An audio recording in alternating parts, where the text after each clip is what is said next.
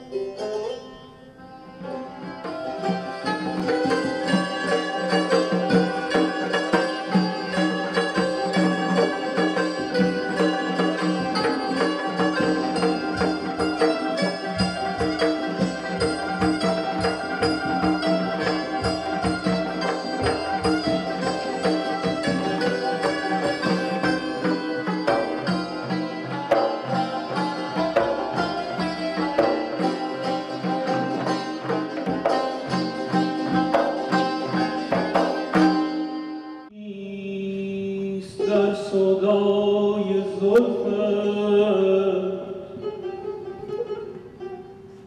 نیست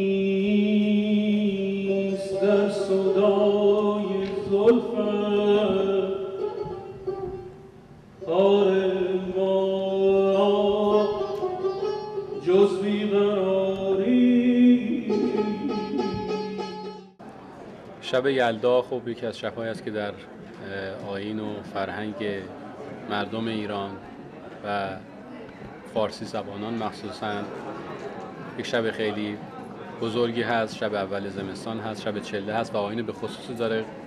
ای پریشان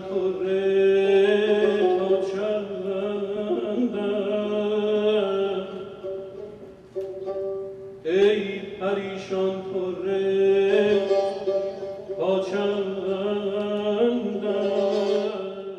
باید هر چقدر می‌تونیم بیشتر از اون چیزی که در توانمون هست وقت بذاریم و انرژی بذاریم تا این فرهنگ رو به مردم بشناسونیم امیدوارم که انشالله این راهی که آغاز کردیم سرانجام خوبی داشته باشه و دست همه این عزیزانی که آمدن سپورت کردن رو میبوسیم و قدران همه هست مزد قصال مرا سیری شرابش بدهید.